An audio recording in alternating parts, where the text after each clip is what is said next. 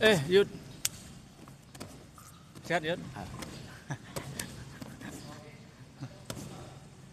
Sendiri latihan, Yud? Oh,